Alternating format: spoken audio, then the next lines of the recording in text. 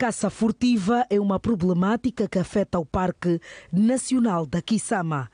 Este cidadão está a ser acusado de caça ilegal de animais em vias de extinção. Repara nestas imagens. Trata-se de um animal que estava em fase de crescimento. Armadilha bem montada para que este elefante bebê caísse.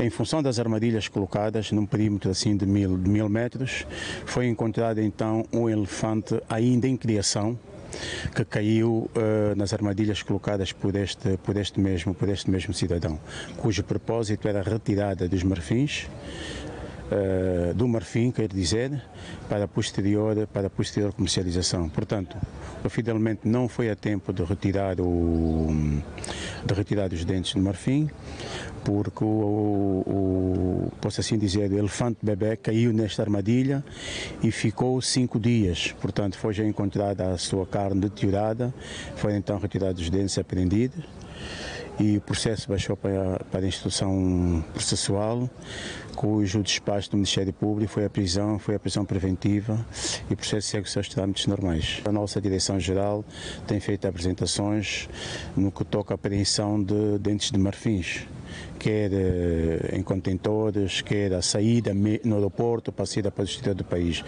Então, o objetivo destes caçadores frutíferos é a comercialização. Porta-voz do Serviço de Investigação Criminal em Luanda, Fernando de Carvalho, realça que a caça ilegal continua a preocupar as autoridades angolanas. Portanto, eh, é, é zero e vizer nessas práticas, portanto, mesmo confessa uh, que tem caçado naquele mesmo parque animais como javalis, uh, gazelas, seixas e outros animais que os comercializa no mercado, já depois de mortos, comercializa no mercado da Mutamba, no distrito urbano da Vila Flor, município de Viana.